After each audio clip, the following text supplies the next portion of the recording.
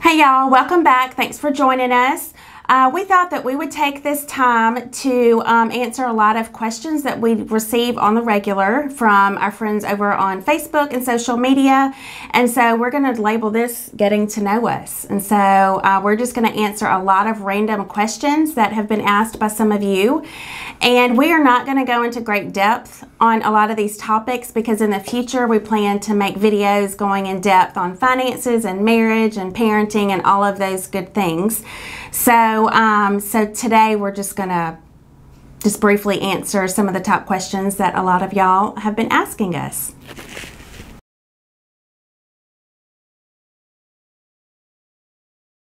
Well, I am 47, and we both live here in West Monroe, Louisiana.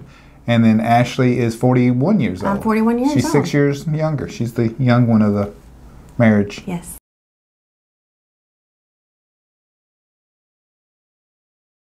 So I was born in Monroe, Louisiana.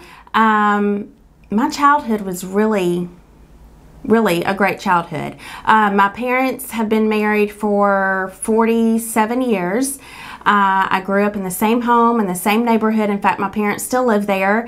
Uh, my mom was a stay at home mom. Actually, she worked within the home. She was an interior designer. So I grew up with my mom, always uh, right there in the midst of all of our activities and everything. Uh, my dad worked very hard to provide for his family. I have an older brother and a younger sister. Uh, and we're a close knit family, have always been a close knit family. Um, we grew up in a Christian household. Uh, my parents greatly respect each other. Uh, I never rarely ever saw them argue in front of us. Um, so I really had a great childhood. I can't I can't really think of anything negative, so to speak. So, with my childhood, uh, I had two parents. They've been married for, I believe it's 57 years now. Uh, I have an older brother named Mark, and then I have an older sister named Rhonda. Uh, Mark actually lives here close to us, and then my sister Rhonda lives in North Carolina. Uh, we grew up in a typical medium or median uh, household income. Uh, it was a Christian home. Uh, it was really a great childhood. Uh, our parents uh, didn't make a lot of money, but they did provide for us well. Uh, my dad worked both as a dispatcher for the fire department and also as a traveling salesman. And then my mom was actually a stay at home mom early on in our lives. And then later on, she went back to college and got her master's degree and began teaching here at the local university.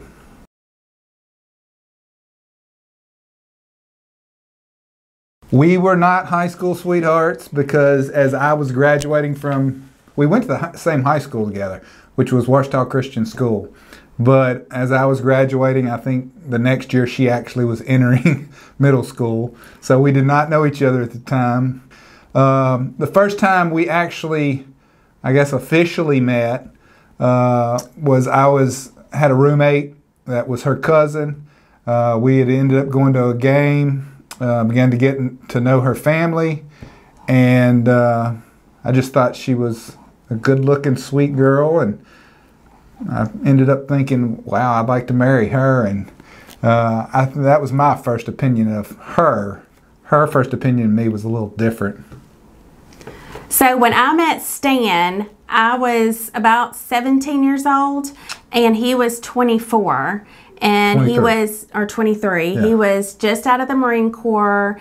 Uh, he worked as a deputy sheriff and so his personality was pretty strong abrasive not what i was used to in um, i guess the high school guys that i hung out with so while i thought it was cool that we had this older cop dude that hung out with us and he kind of liked me and he hung out at my house sometimes uh, i didn't really i wasn't really attracted to him romantically that way.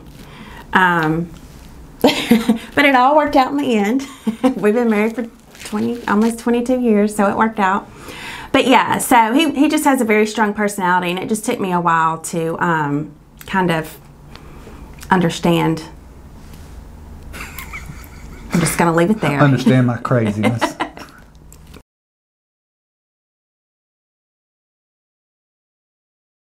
So, It was complicated. yeah, I hung out at her house a lot. Uh, I was friends with her, their mom mainly. Um, when she ended up needing a date to her senior prom, or it was called the junior senior banquet, um, she ended up asking me. I thought it was for romantic reasons, and it was actually because she just needed a date. Uh, so uh, I always had something for her.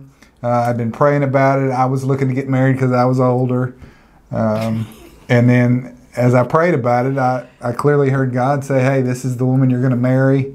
Uh, I stupidly ended up telling her that. Uh, and for a 17 year old girl to hear somebody say that, Hey, we're going to get married because I prayed and heard God say this, it scared the crap out of her.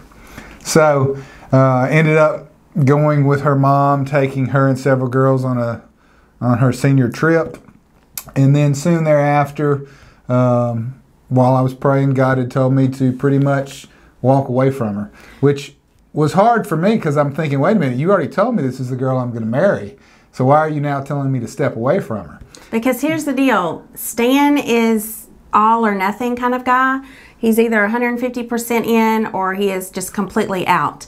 So he was just, while he knew that he wanted to marry me, I did not care for him romantically. and he was always, always at my house, just always right where I was. And I just kind of felt smothered.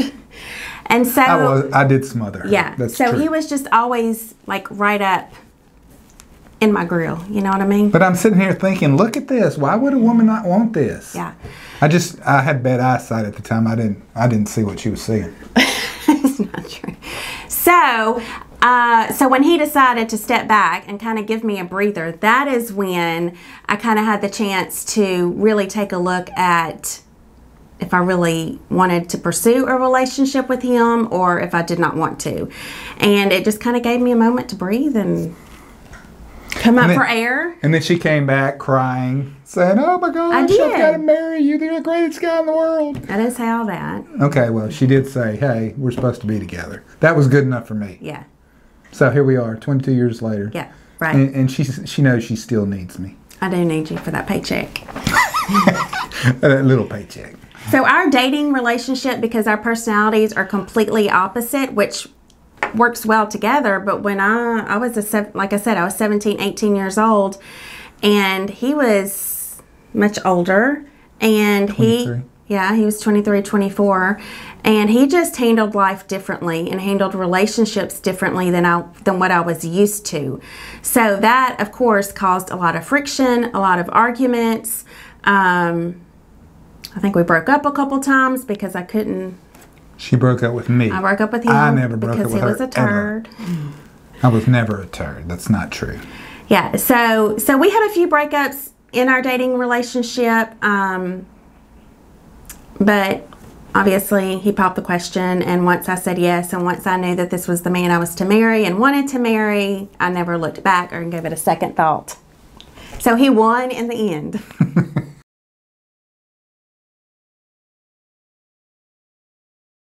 So we have been married for this year will be 22 years in October.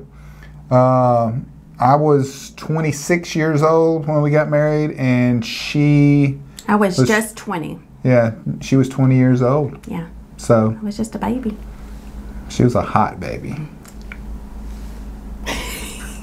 Creep. hot babe, not baby.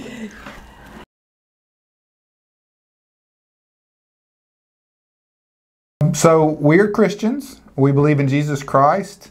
Uh, we raise our, our kids uh, to follow Him just as we do. And pretty much the Bible is uh, our guidebook for life. Uh, we follow what it teaches and we follow the teachings of Jesus Christ.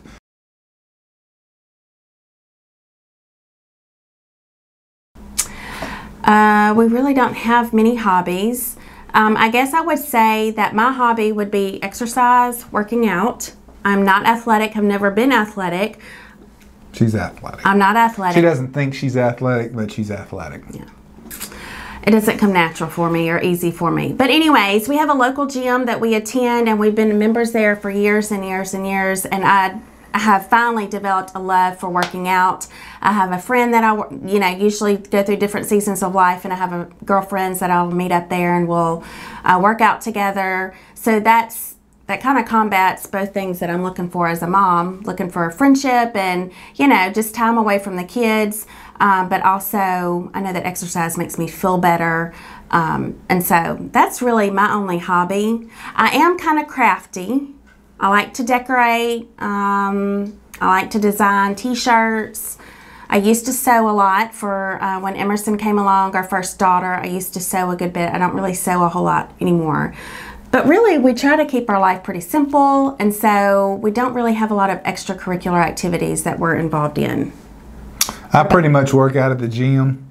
Uh, I mean, that's, that's pretty much my hobby. I do like to write. I do not get to write as much as I used to.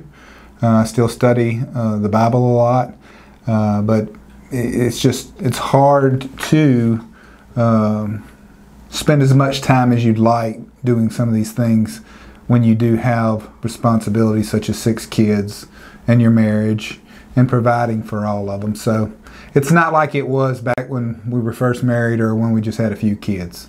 So we've had a we've had to change a lot of things. Yeah.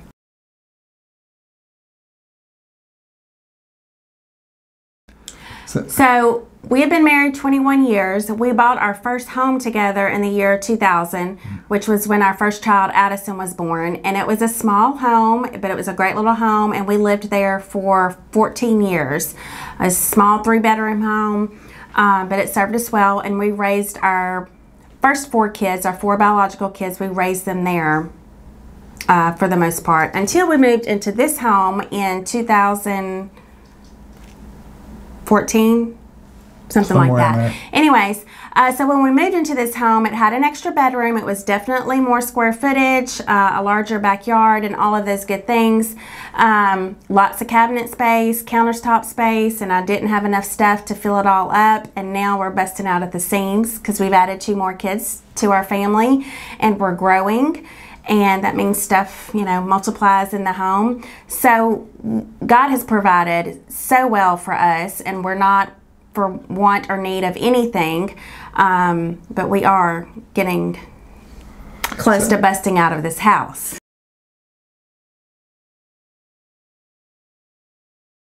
We do have two extremely different personalities.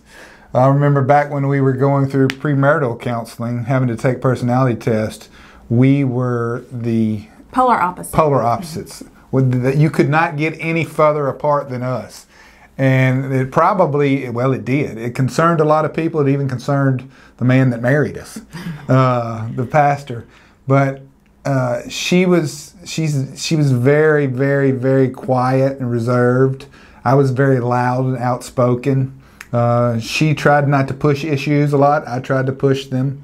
Now uh, it did make it hard.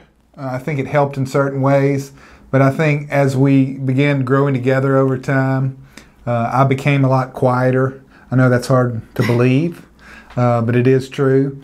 I've become a lot more emotional, a lot more tender, and I think as the days have gone on and the years have gone by, she's become a lot more aggressive. Uh, she's more outspoken. I stand up uh, for myself. She does stand up for herself. Um, I used to not. Everyone yeah, would walk all over me. That's true. But so we've kind of grown toward each other. I've become more like her through the years, and she's become a lot more like me. But it's just like the old saying, opposites attract. And for me, in the beginning of our dating relationship and getting to know him, the opposite, him being so completely opposite from me, like I, I didn't know how to handle it. And I was still such a young teenager. And you were older, but you were still she keeps saying that. I was such a young teenager. It's going to make me sound really bad. I was 17, 18, 19. But and I was looking for a wife, and she was really hot. Yeah. Was hot. I mean, she still is still hot. hot. but we balance each other out very well now. Uh, not that we don't clash sometimes and get frustrated with how each other handles a situation or anything like that. But it's pretty neat to see how, um, in like dire big circumstances that might come up that would stress me and cause me to kind of go over the top. He is very calm and just handles it beautifully. And then vice versa. When little things happen, like someone spills a glass of milk, he kind of like gets upset, and I'm like, oh, it's no big deal. Just clean it up.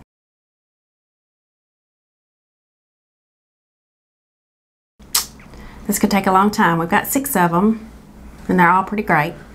Addison is our 19 year old. He recently got married in June of 2019 to a wonderful woman named Rainey, and they are actually. Uh, they got pregnant a few months after being married, and they're expecting the first baby in May. May, little baby boy. Uh, so we'll be grandparents for the first time. But Addison has always been. Let, let me tell you this. This will tell you what kind of kid Addison is. When he was little, we called him our little Catholic child because he he's the typical firstborn. He carries the weight of the world on his shoulders. He's very protective. He's very responsible. He doesn't want to let anyone down. Um, and if he ever ever felt guilty about anything that he did, he literally would just could not go to bed at night, and he would just come in come into the living room late at night and just boohoo. And I gotta tell you what happened. I said the S word, and I'm like, what S word did you say? I said shut up. I'm not supposed to say shut up, but I said shut up. And, you know, we're, we're just about to die out laughing, but, you know, we tell him it's okay. We don't say that word. And, you know, so we've called him our little Catholic child. And, he, and, and the funny thing is, we're not Catholic. That's what was well, funny yeah, we're not Catholic. And he is still that way to this day. Even as a 19 year old, he, he's you know, he's a very hard worker. Um, he takes life very seriously. His ta- he takes his responsibilities as a provider and a husband very seriously. Um, so he's just, he's a great. He, he's a great young man. He's going to make a great daddy. Yeah, yeah. And then we have Emerson, who is 16 years old now. She's our beautiful daughter. Um, as a baby, she was very like stone faced, did not like the camera, did not like being around new people. Uh, she was a chunk too. She was a little chunky monkey, uh, but she has developed. Her personality has really completely changed, and she's so outgoing. She doesn't meet a stranger. She's always smiling. She wants to be the life of the party. Uh, but at the same token, um, she's very mature and very responsible. Uh, these adoptions I mean, I'm not saying we wouldn't adopt if we didn't have amazing, responsible kids that help us out, but they really have taken so much of the load of taking on these special needs girls, and they help so much just without me even having to ask. So Emerson's like mama number two around the house, and um, we love her. She keeps us laughing. She has a very, I love her sense of humor. Yeah. But she's a lot like Stan too. She says it like it is, and she doesn't take any mess off of anyone. and she will hurt you if you touch she her. She will hurt you. Yeah. She's very talented. She's very artistic. She's one of those people that can teach her own self how to play the piano, the guitar. And she has. And she can draw beautifully. I mean, I'm kind of jealous of her. Yeah. I think she got that from his dad because your, your dad's artistic. Yeah. Okay, and our next little one is Grayson. Well, he's not little anymore. He'll be 13 in June, and um, he has always been a mama's boy, still is. Um, but as a little one, he was very shy and timid and only wanted to be with me. Um, he held under her leg with his thumb in her mouth. Held on to, yeah. He liked to put his little hand down my shirt like this. he did. yeah, and uh, but his personality is really changing. He's he's he's becoming a lot more social. Um, at church, he's very outgoing and looks forward to going to like youth group events even if some of his friends aren't going he's okay walking in by himself which is like a huge thing for him because he was the kind of kid that when he was eight nine years old if you told him to ask the waitress for more water he would just start crying mm-hmm. because he didn't want to talk to a stranger um, but he's very he's developed a really great sense of humor. He keeps he and Emerson both kind of just have that natural sense of humor, and they keep us laughing. Uh, but he's still very. Um, he's not super vocal with his emotions and his words of affirmation and affection. He takes after me in that area, um, but he's very responsible helps out with the girls, the little ones, a lot. So we love our Grayson. Yes. Jackson is what we thought was going to be our caboose. We thought we were done having kids. Really, we thought we were done having kids after number three, but after I sold all the baby beds and all the stuff, the next day I found out I was pregnant with Jackson, which we were totally happy with. Um, his personality, God knew exactly um, what was in future for our family and bringing home two little girls from um, through adoption because Jackson's personality is that of a firstborn. He's very he's much like Addison, very responsible. Um, he's a protector. He wants to help everyone out that he possibly can. Um, and so he's a little OCD with his cleaning. There's a lot of OCD. Around age two or three, um, he started like always wanting to clean with me and fold clothes, and he did a really good job of it. And even today, he asked to go clean people's houses. He loves to organize. So it'll be interesting to see what kind of profession he grows up to uh, pursue. So he's be- and he's got the most beautiful big blue eyes, big long eyelashes. All the women always are jealous of. So we love our Jackson. And then we have Micaela, who is seven years old, and we brought her home through adoption. Uh, she is from the Philippines. We, she's been home a little over three years, and we just love her to pieces. I'm sure you've seen her videos here on our YouTube channel. Uh, if you haven't seen her adoption journey, uh, you should go watch that right after you get done watching this video. And she always has a smile on her face. Uh, she has some cha some challenges neurologically and and all of that. But she's very bright, very smart. Um, she's a princess. She's a princess. And then we have little Isabel, who we brought home through adoption again from China. She's been home with us for maybe two years in August. And she is almost seven years old although Isabel has a lot of things kind of fighting against her, uh, she is very smart. Uh, her giggles are the best. She came from a very, very crap life living in China. And, um, but she is, she's thriving now. She's doing so well. Uh, we love to hear her giggles, see her smile. Um, we just love her, love her so much and can't wait to see what the future holds for her and see, you know, all her potential that she has.